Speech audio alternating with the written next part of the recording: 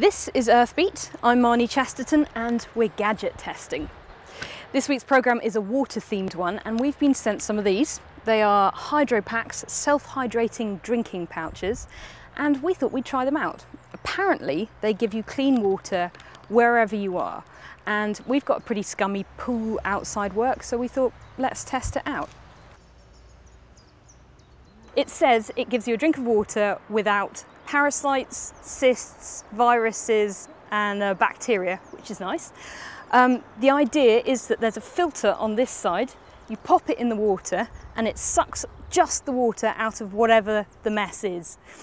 So that means that when you transport these, these are mainly for use in disaster areas, um, that's much less to transport because you don't have to carry a lot of bulky water, it's just these flat packs. Those are the advantages. Disadvantages, I will demonstrate.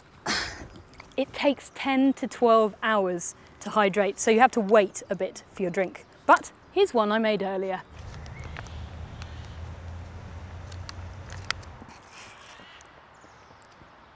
That's all right actually. That tastes like weak orange squash. Um, some of you might have noticed that it doesn't exactly look like water.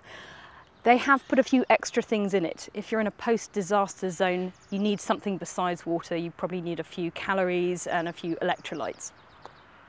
So for me, this was a good experience of drinking pond water outside work, but in places like Haiti, this could save a lot of lives.